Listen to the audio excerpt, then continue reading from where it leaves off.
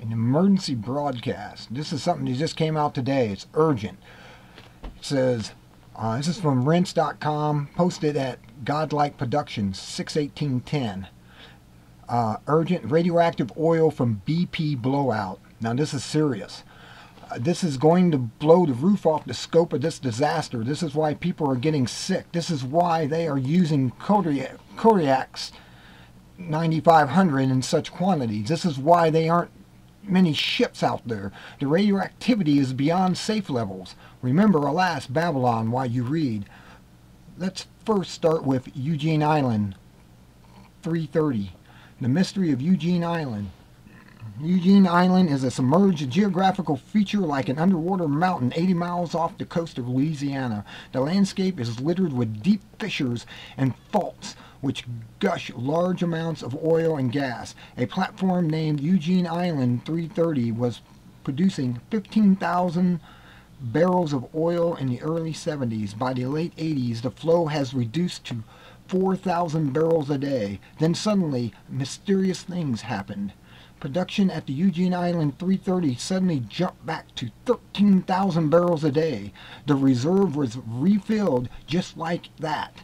It is estimated that the reserve went from 60 million barrels to 400 million barrels in a few days' time. Something very strange is happening under the Gulf of Mexico. What happened at the Eugene Island supports the growing theory that oil is renewable from deep earth processes. But don't let the general population know this. This aids to explain why the Middle East oil fields seem to be inexhaustible. Scientists noticed oil chemical composition did not change as fossil records have changed. Many scientists now believe oil is not created by decomposing remains of life since areas of very different ecospheres are producing oil of equal composition. But there is much more to talk about. The new discoveries of deep oil. Something very dangerous lurks in the deep water horizon's oil spill. Keep in mind the reserve Deep water was drilling happens to be the deepest offshore reserve to date. Also keep in mind how we learn oil is sourced from deep below the Earth's crust, further down than mankind has been able to study and observe.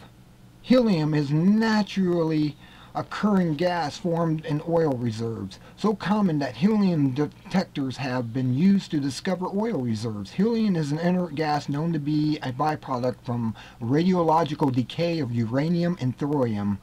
Uranium and thorium are known to be in great quantities at greater depths. Yes, radioactive elements occur naturally and can be found and detected in trace amounts in shallow oil reserves.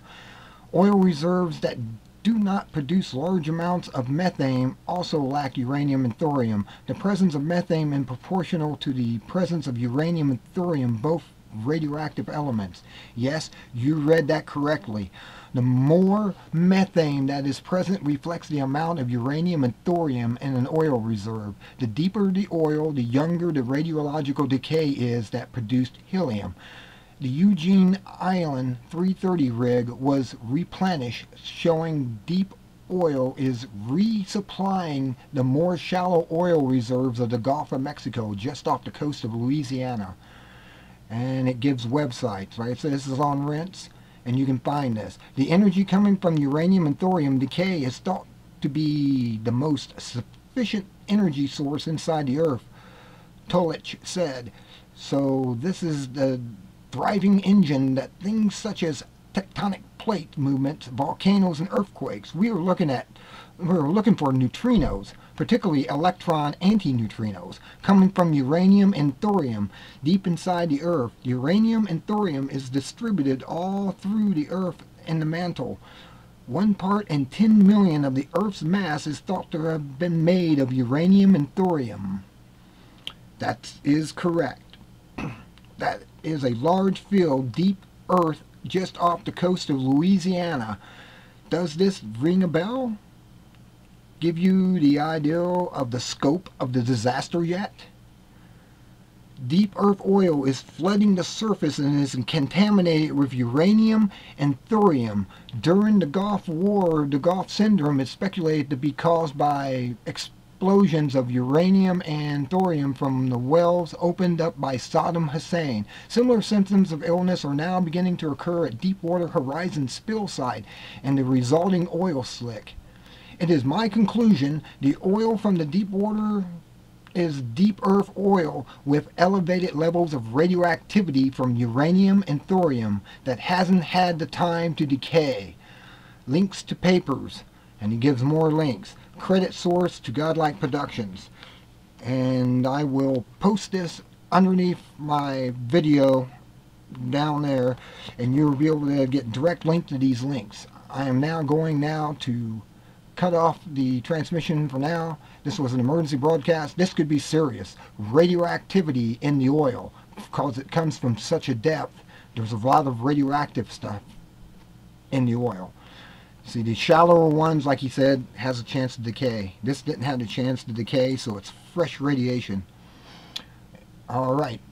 I will get off here now. You be good be good at it, be ready to move from, from the coastlines of the Gulf. If this gets out to be true and factual, you must be aware of this. If you have a Geiger counter, anyone down in the coast, if you have a Geiger counter, take samples of the oil if you can get it and radiologize it.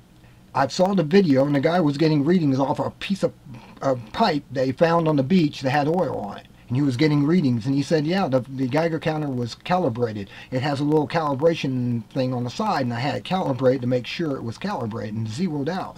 And sure enough he was getting radioactive material readings. It looked like five. It was going up as high as five on the up to from five to to 10 or whatever it was set on the Geiger counter I'm not sure what his setting was but it was getting hits it was showing radioactivity in the oil so until next time, be good or be good at it. Be prepared. Be prepared to move. I fear for you people down on the coast, co coastline at the Gulf because of what's going on down there. They're covering things up. They're hiding things. I've just read through several stories today where BP is hiding that they turn the people down in Grand Isle. You can't talk to nobody. If you talk to reporters, you'll be arrested. Reporters or cameras are being detained and arrested if they're caught trying to get down to the coast and take a picture.